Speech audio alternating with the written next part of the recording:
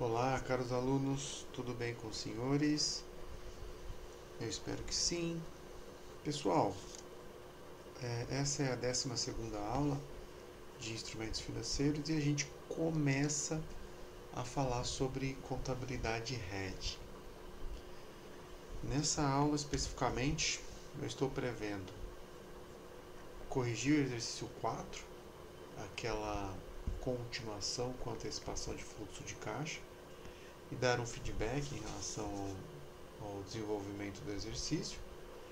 A gente vai falar sobre gestão de riscos e redução da exposição, com uma visão geral sobre RED, o tal do reconhecimento assimétrico, é, que não é seguido quando se trata do RED Accounting condições para aplicação da prática de Red Accounting, documentação e estratégia. Gostaria de comentar sobre um artigo de iniciação científica e é, comentar também sobre o caso da Petrobras, que é tarefa, é, uma discussão interessante sobre a aplicação do RED. Bom, então vamos começar com o exercício. É, inicialmente gostaria de comentar é, o ponto mais relevante da, do, do feedback da turma é cuidado com a contabilização. Muitos alunos trocaram é, ativo financeiro por passivo financeiro. O exercício 4 trata de um caso de ativo financeiro, ou seja, espero receber os fluxos é, oriundos da aplicação. Então, cuidado com, com o enunciado. Nós explicamos, na aula, nós explicamos o caso de passivo financeiro, a emissão de um título de dívida. E no exercício 4, nós estamos lidando com uma aplicação financeira, ou seja, um ativo financeiro. Cuidado com essa troca. Bom, nesse caso, eh, as informações apresentadas são, lembrando que esse exercício ele está na aula 10 você vai encontrar esse tópico, continuação do exercício 4, para 24 de setembro. Então, no primeiro dia de 2002, a entidade faz uma revisão dos fluxos de caixa e ela espera receber, ela espera que 50% do principal seja pago antecipadamente, ou seja, no final de X2. Então, claramente, há uma antecipação do fluxo de caixa. Muito bom. Não é falado, não se fala em alteração do risco de crédito. Uma alteração do risco de crédito poderia causar uma revisão dos fluxos de caixa e uma revisão da taxa, mas não é o caso. E o remanescente será pago no final de X4, faça os devidos ajustes no exercício. Então, basicamente, você tem o principal e com a antecipação de 50%, esse valor é reduzido para 625. Então, vamos começar ajustando os fluxos de caixa, tá bom? Vamos ajustar os fluxos de caixa. Para isso, eu vou considerar o pagamento de juros de 59, 59, 59 para os três primeiros anos. Tudo bem? E no quarto ano, eu tenho um fluxo ou um pagamento de 29, pois houve a antecipação de 50% do principal naturalmente há um ajuste no pagamento de juros. Nos últimos anos você recebe 29, ou seja, é a taxa de juros. A taxa eu estou pegando do início da planilha, ou seja, os 4,7. Então, voltando 4,7 em cima de 625 para os dois últimos anos. Bom, você tem uh, o investimento inicial de mil reais e na linha do principal você tem o recebimento de 625 em 2000x2, é, mais especificamente no final, tá? No final de x2. E uh, a outra parcela no final, ou seja, no final de 2000x4. Muito bem. Os fluxos nominais, portanto, são desembolso de mil reais no início. Ao final do primeiro ano, nós temos 59, que é o recebimento de juros. Nós temos ao final de 2000x1 59, final de 2000x2 683,75, ou seja, é o 59 mais a antecipação de metade do principal. Ah, 2000x3 eu tenho 29,38, eu apenas estou é, mostrando as duas casas após a vírgula, tá bom? E no último ano eu tenho 654. Esses são os fluxos nominais. Muito bem. Vou trazer a valor presente esses fluxos. Portanto, uh, 2000x0 eu tenho 59 sobre 1 mais a taxa. Estou pegando a taxa na célula C10, é a TIR, na verdade, que já foi calculada uh, no exercício 4, sem a antecipação do fluxo de caixa. Muito bem. E eu tenho o valor presente para os demais fluxos. Por exemplo, no final eu tenho uh, 654,38 sobre 1 mais a taxa, 10%, elevado a 5. Ou seja, estou trazendo os fluxos a valor presente. Tudo bem? Muito bom. Agora eu vou para a tabela. É, essa tabela foi o exercício pede para você prepará-la. Então você tem na primeira e na segunda linhas, nas duas primeiras linhas, você não tem nenhuma alteração, tem uma correção a fazer. Por quê? A antecipação, na verdade, ocorre a partir de 2000x2.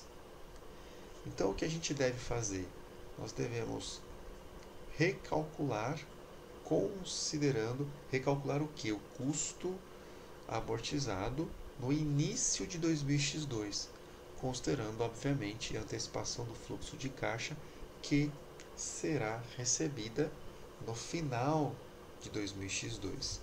Então, para fazer essa conta, basicamente, eu vou tirar o, o, o amarelo para facilitar a visualização. É. Ainda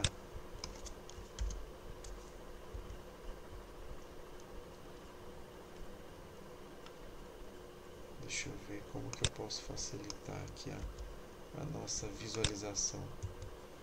Já sei, vou trazer a fórmula para cá. Isso.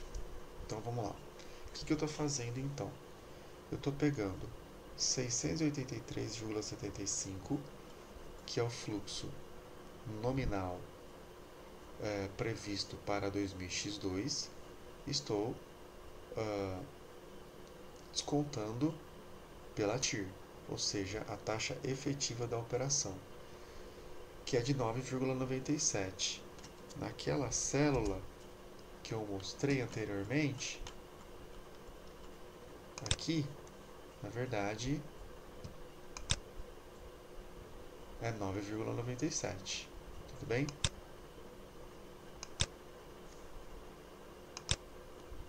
2.997.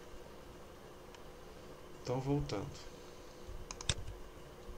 O fluxo nominal de x2, trazendo o valor presente para o início de x2. Por isso, 1 mais a taxa elevada a 1, elevado a 1, mais 29, que é o fluxo em 2000x3. Vou trazer a valor presente. Portanto, 1 mais 9,97% elevado a 2, mais 654,38, que é o fluxo de caixa no final do último ano.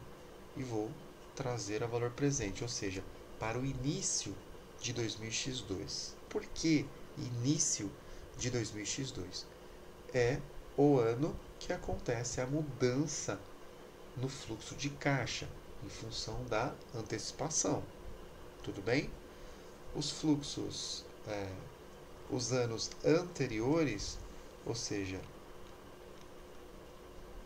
voltando para a tabela,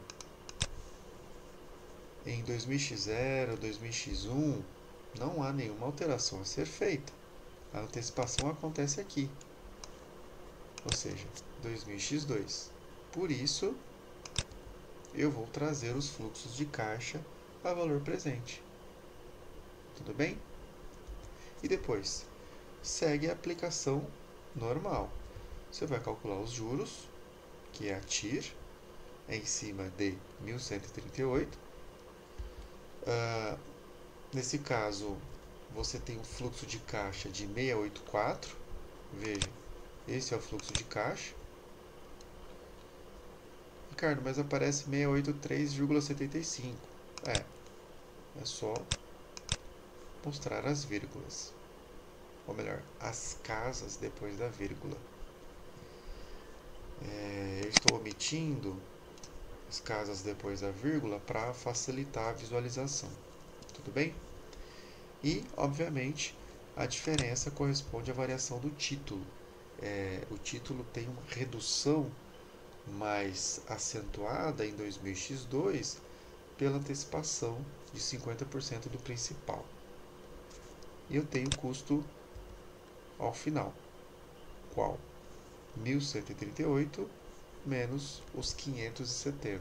E ao final de 2000x2 eu tenho um custo amortizado de 568, que corresponde ao custo amortizado no início de 2000x3. E aí segue mesmo, uh, os mesmos passos que a gente já viu no exercício 4, sem antecipação uh, do fluxo de caixa. Então, veja, é a aplicação da taxa, tá? Veja a aplicação da taxa.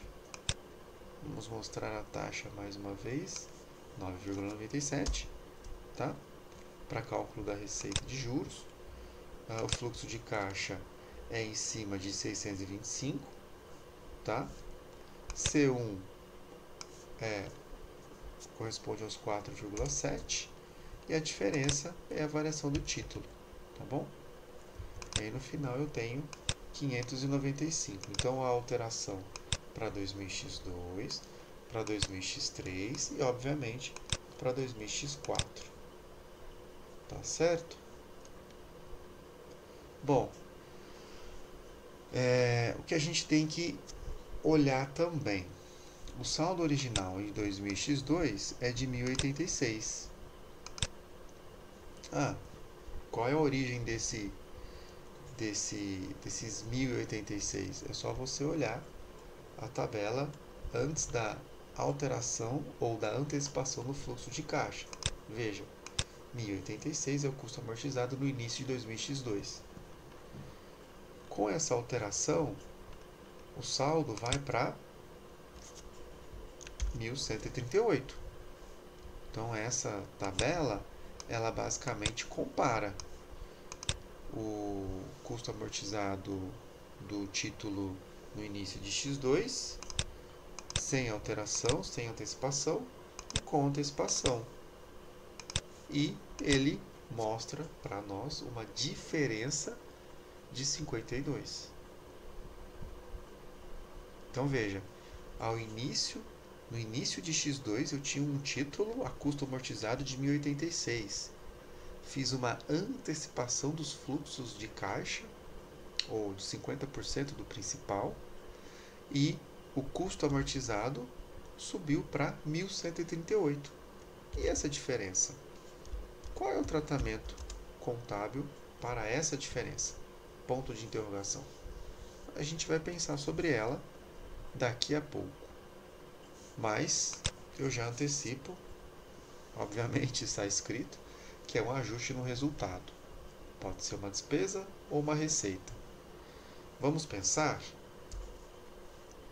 Você, esperto, percebeu que essa variação só pode ser uma receita, pois se eu tinha um ativo registrado a 1086 e ele subiu para 1138, aumentando a sua capacidade de geração de benefícios, obviamente esse aumento é atribuído a uma receita. Mas vamos entender a contabilização. Bom, eu vou limpar esse essas cores para a gente pensar juntos. Então vamos lá. Obviamente eu tenho caixa inicial de mil. Oh, eu tenho um título uh, de mil, né, que é o a aquisição. Então veja, eu fiz a aquisição do título, desembolsei mil e aparece no meu ativo o título correspondente, mil reais. Eu tenho a partir do, é, do final do, do primeiro ano a receita financeira de mil, de acordo com a tabela. É, aqui, ó, receita de juros mil. O fluxo de caixa calculado com base naquela taxa de 4,7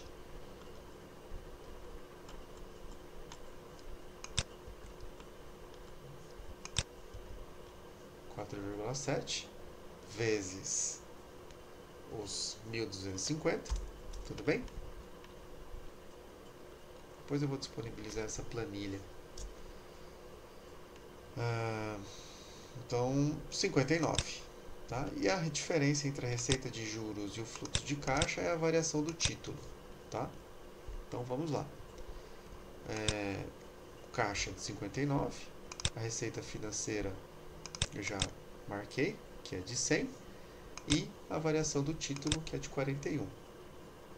A gente segue a mesma lógica nos demais anos, ou seja, eu tenho um aumento de é, caixa em função do recebimento dos juros para o. Ah, qual é esse ano? Deixa eu ver aqui. Ó. Esse é o 2000x1 para 2000x1, tá? É, tá aqui, ó, a variação do título e eu tenho também a receita financeira. Segue a mesma lógica do exercício anterior. É a partir de 2000x2 que eu tenho alterações é, no título, no fluxo de caixa e na receita financeira, tá? Então vamos lá. É, vamos começar pela receita financeira. Resgatando aqui a alteração, tá? olhando a, a matriz, que tem custo inicial, receita de juros, variação do título e fluxo de caixa. Tudo bem? A receita de juros é de 113, já ajustada pela antecipação dos fluxos de caixa. Então eu vou colocar receita financeira aqui, 113. Tá bom? Bom, eu tenho aqui também os fluxos de caixa. O fluxo de caixa agora é de 684, considerando que eu tenho a antecipação é? de 625 mais os 59. Tá? Então vamos ver aqui, ó, 625 tá? mais os 59. E aí eu tenho 684. 84, que é justamente esse fluxo de caixa aqui embaixo que eu já coloquei. E a diferença entre ambos, ou seja, a receita de juros e o fluxo de caixa, é a variação do título, que nesse caso tem uma redução, tem um desconto maior em função da antecipação, obviamente.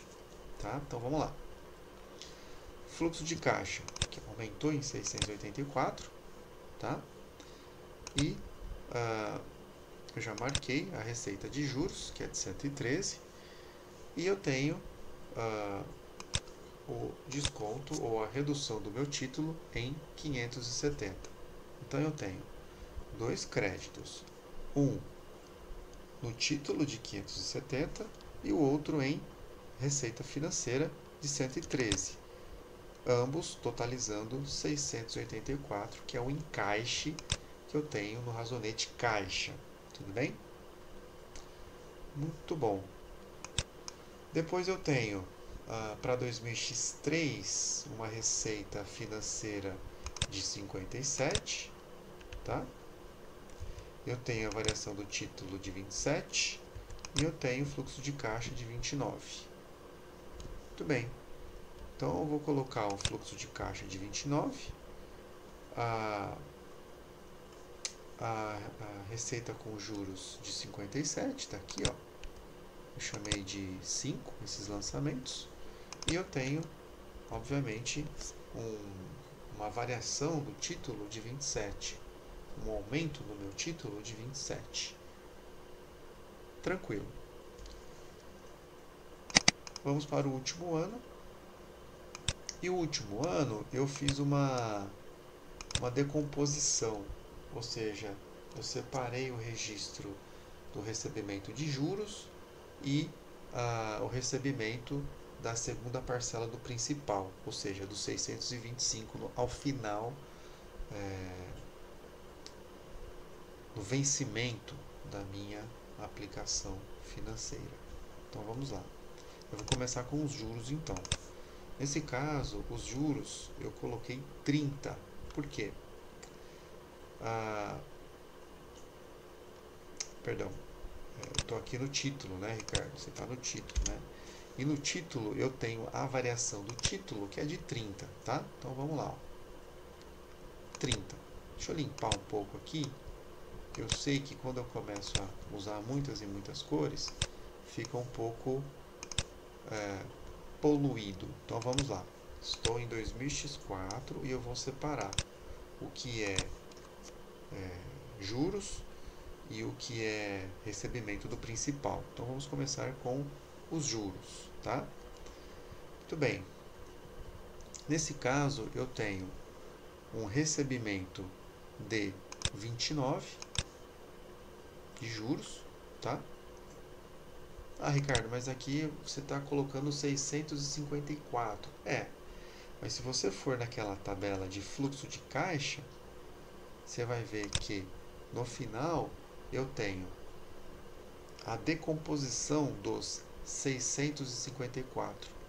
Ou seja, é, é, a, é, a, é formado por 625 do principal, mais 29 é, de juros, tá? Então vamos lá, vamos trabalhar com os 29. Então eu vou, eu vou, eu vou ter o um encaixe de 29 pelo recebimento dos juros e a contrapartida. Eu tenho a receita financeira de 59 e é, os 30 que corresponde à variação do meu título, tá? Então eu fiz aí a decomposição. 59 é a receita financeira, tá aqui, ó. Pintar até de outra cor para facilitar aí a, a visualização, tá?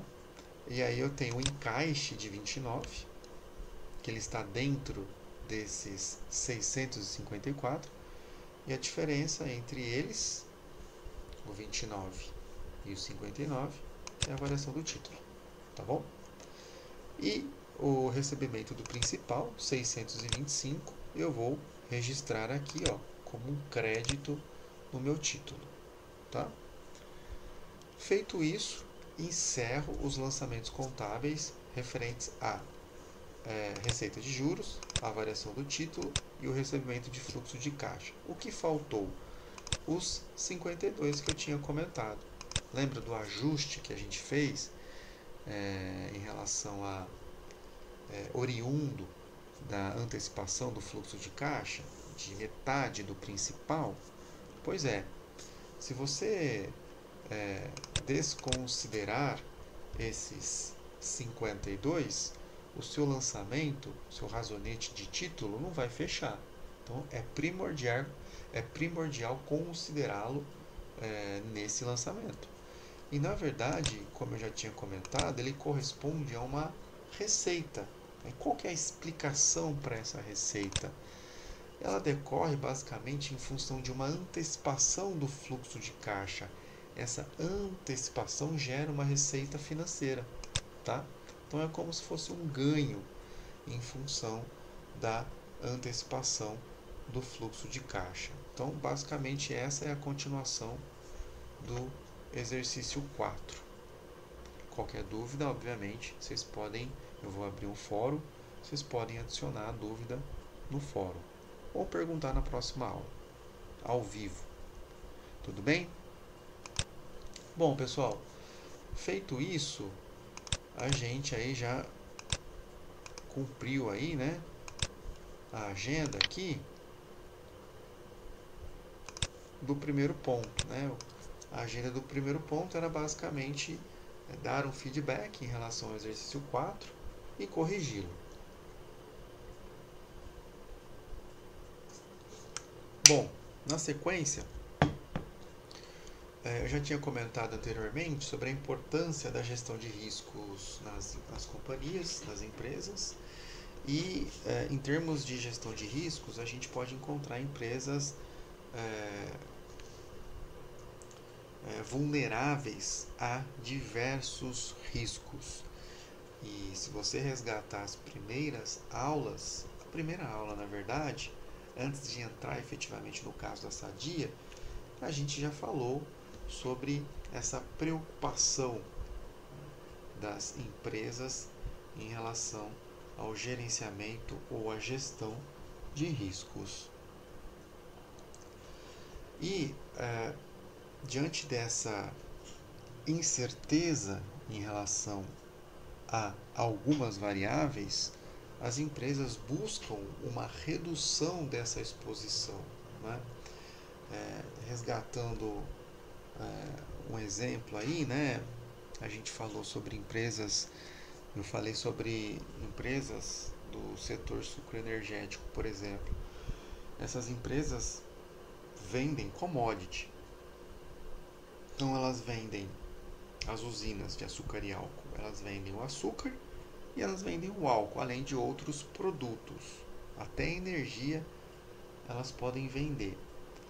Mas considerando que o açúcar e o álcool são commodities e que o preço de, dessas commodities é vulnerável, pode oscilar de acordo com é, de acordo com o mercado, né? Se, se houver, por exemplo, um aumento na oferta mundial de açúcar, naturalmente isso vai contribuir para uma redução no preço do açúcar e as empresas são vulneráveis a esse risco. Né? Então elas querem, em função dessa exposição, elas querem, elas buscam né, uma proteção diante disso. Bom, uma visão geral sobre o RED. Né? Antes da gente entrar no RED Accounting, eu gostaria de dar uma visão, é, é, uma visão geral. E a fonte de inspiração desse, desse slide é basicamente uma entrevista com a professora Berenice. Eu já tinha comentado anteriormente em um dos nossos vídeos sobre é, a qualidade das entrevistas e do material que é oferecido por ela.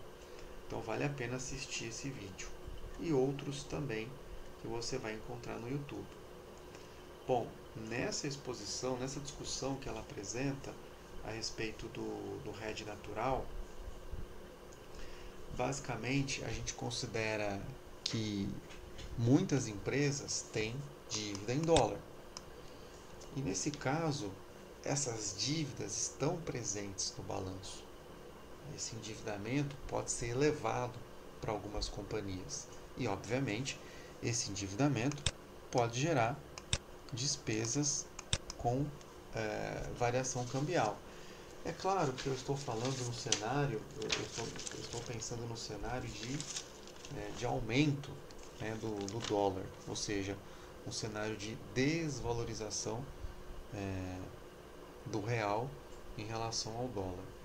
Nesse cenário especificamente, eu posso ter mais despesas com, com a variação cambial. É, nesse vídeo que ela comenta, ela fala basicamente da possibilidade da empresa trabalhar com o famoso RED natural. Como funciona o RED natural? Olha, essa empresa tem dívida em dólar e nesse caso essa dívida vai gerar despesa com variação cambial, naturalmente. Então vai aumentar o custo, vai aumentar a despesa. Mas esse aumento pode ser compensado pelas exportações. Ou seja, é uma empresa que tem dívida em moeda estrangeira, mas ela exporta. Ela exporta.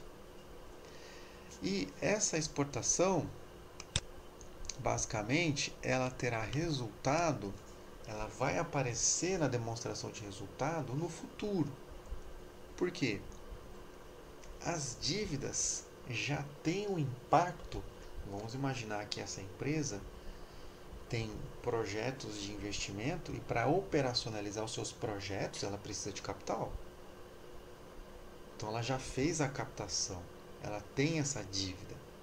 E as exportações ainda vão acontecer. Então ela, ela, ela visualiza, por exemplo, 5 anos, 10 anos de exportação a partir desses projetos, a partir desses investimentos que foram realizados a partir é, com essa moeda, com essa dívida em moeda estrangeira, tá certo? Então, o que a gente pode visualizar agora são fluxos de caixa projetados. Então, tudo bem, organizando as ideias. Eu tenho o balanço com uma dívida gerando despesa financeira no, na minha demonstração de resultado. Eu tenho a expectativa de, de vender, de, de aumentar as minhas exportações nos próximos anos Portanto, é, as exportações terão um efeito no resultado, mas ainda não gerou esse efeito. Ou seja, é, é, esses fluxos de caixa projetados, eles não estão nas demonstrações contábeis. Né? Então, olha que interessante.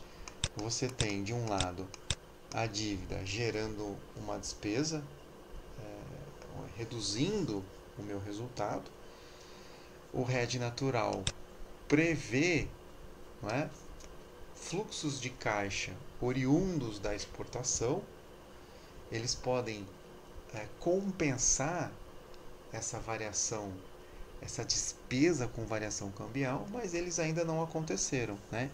Eles não estão aí na, nas demonstrações contábeis, tá?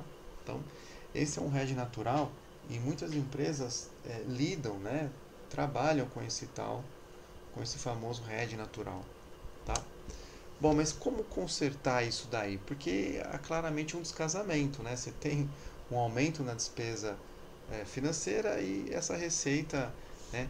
É, essa compensação vai acontecer apenas no futuro, tá? Como que a gente pode compensar isso daí? A compensação ela se dá basicamente com a figura do RED, né? Outra maneira de visualizar do Red, é, do, do Red Accounting, né? Outra maneira de visualizar esse descasamento é olhar essa figura aqui, ó.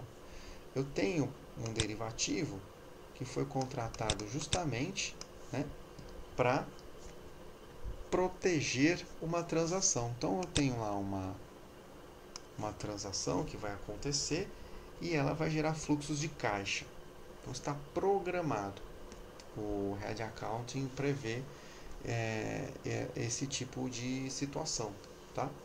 E aí eu tenho lá um derivativo que eu contratei justamente para proteger aquela transação.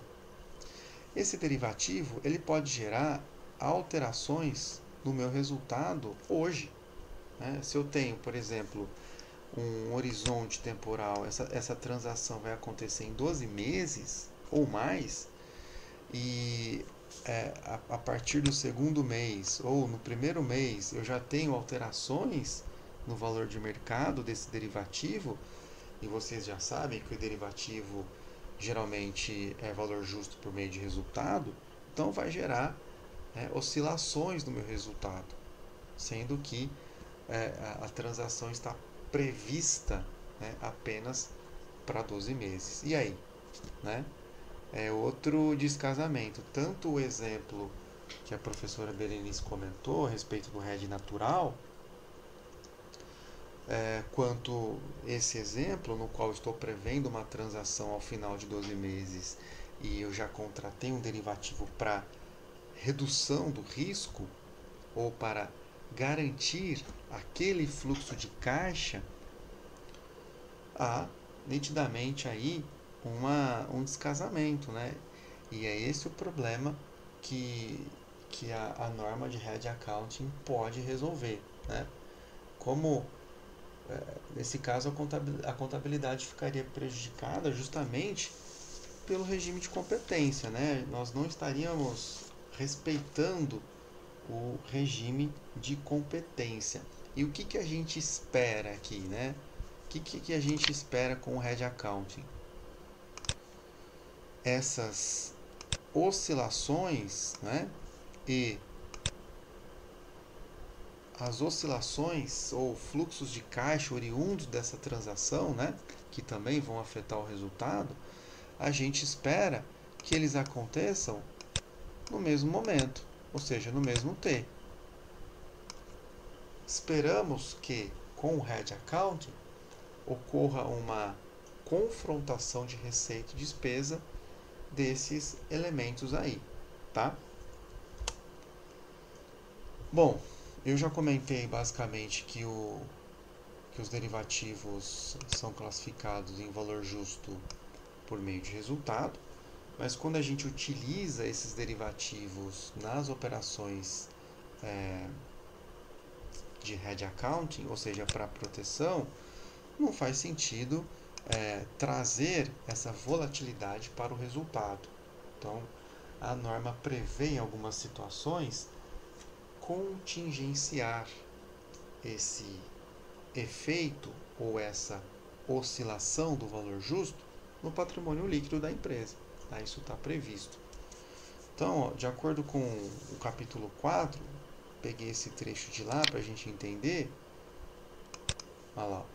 Em uma transação de hedge, o item protegido, o objeto de hedge, tem seus ganhos contrabalanceados pelas perdas ou ganhos do item de proteção, de maneira que o resultado atenda ao regime de competência. Então, nós estamos preocupados, em essência, em trazer o efeito no resultado do objeto de hedge e do instrumento de hedge para o mesmo momento.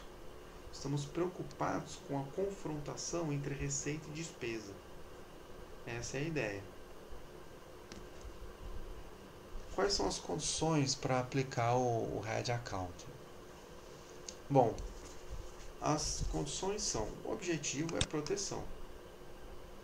Ou seja, não espera, não espera-se que a empresa assuma posições especulativas. O Hedge Accounting é exclusivamente voltado para gerenciamento de risco, para proteção, para gestão de riscos. Portanto, essa transação deve estar alinhada com a política de riscos da empresa. Então é necessário que a empresa faça um mapeamento dos riscos aos quais ela está sujeita, é, se é risco de, é, de, taxa de juros, taxa de câmbio, é, risco de oscilação no preço da commodity, ou seja, é fundamental fazer esse gerenciamento, esse mapeamento e desenvolver estratégias voltadas para essa, essa gestão. Então isso tem que estar documentado, né? E uh, outra condição é que a essência econômica pode ser claramente caracterizada. Então, são algumas condições que o CPC 48 estabelece e os autores do livro comentam muito bem sobre elas. Bom, a norma, o CPC 48, portanto, busca alinhar as práticas é, de gestão de risco ao reconhecimento contábil dessas transações. Como eu já disse, o Red Accounting é uma maneira de é, alterar os registros ou as transações de instrumento e objeto de RED, de maneira que a gente possa fazer um reconhecimento adequado no resultado, respeitando o regime de competência. Portanto, a norma possibilita a adequação da contabilização dos ganhos e perdas de itens protegidos e seus instrumentos de proteção. Tá? É, e é claro, há uma preocupação com a eficácia do RED. Se aplicou o, o RED com o objetivo de compensar uma possível, uma possível perda no futuro, então você tem um objeto de RED, é possível uma redução no seu fluxo de caixa em função do risco, de um determinado risco. Então o seu instrumento deve compensar essa perda, ou seja, é esperado um aumento no fluxo de caixa do instrumento. Se não houver essa compensação, o seu hedge não foi eficaz. Então essa operação, na verdade, não é hedge account. Tudo bem? Então essa eficácia deve ser comprovada pela empresa periodicamente. E qual é a estratégia de gerenciamento de risco? Nessa estratégia, a empresa, eu já tinha comentado, ela deve definir as políticas, quais são os riscos, como ela responde a esses riscos. Como ela responde significa quais são os contratos ou quais são os derivativos que podem auxiliar a empresa a se proteger. Então, se há uma taxa, se há um risco de variação cambial, qual é o derivativo normalmente que essa empresa contrata? Ah, é um NDF de moeda. Ou é outro derivativo específico para essa, entende? É fornecer uma, é, é um plano de ação para gerenciamento de, desse risco. E obviamente isso implica em trazer diretrizes específicas, documentar tudo isso. A auditoria, obviamente, tem o papel de verificar se essa documentação, se essa se essa estratégia está bem apresentada, documentada pela empresa. As, as categorias que a gente vai ver nas próximas aulas são três basicamente. A gente tem o RED de valor justo, de fluxo de caixa e de investimento no exterior. O RED de valor justo, basicamente, a variação é no resultado. Tem efeito no resultado tanto do derivativo, que pode ser visto como um instrumento de hedge, quanto do item protegido ou objeto de hedge. Temos também o hedge fluxo de caixa, com o objetivo de proteger o fluxo de caixa.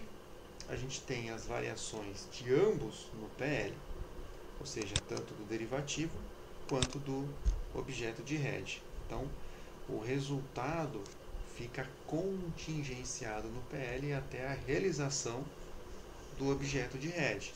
Quando da sua realização, isso é transferido, carregado para o resultado. É, aqui nesse slide, o meu objetivo é, é apenas comentar de maneira geral. A gente vai entrar especificamente, fazer exercício sobre os dois. Tá bom? Por que, que a contabilidade de rede é importante? Né? Então, tem uma discussão aí no livro mostrando né, a, a importância de trabalhar com Red Accounting. Um dos motivos é a representação mais adequada da exposição de riscos. Então, a empresa que tem uma, é, um, um, uma estratégia bem documentada, a empresa que faz um gerenciamento, que identifica os riscos aos quais ela está vulnerável, ela pode fazer uma, uma representação, ela pode informar o mercado a respeito desse gerenciamento. Então, geralmente tem uma nota voltada para a política de riscos, e é, nesse, é, e é nessa nota que a empresa fornece uma informação para o investidor a respeito desses riscos que ela está vulnerável e que ela está exposta, né, portanto. É, geralmente há uma maior transparência sobre a política de gestão de riscos, dada a obrigatoriedade é, de divulgação. Então, a empresa não é obrigatória a aplicar o Red Accounting, a aplicação é voluntária. Mas uma vez que ela escolheu o Red Accounting, ela tem que se preocupar com a divulgação de alguma informação, não é?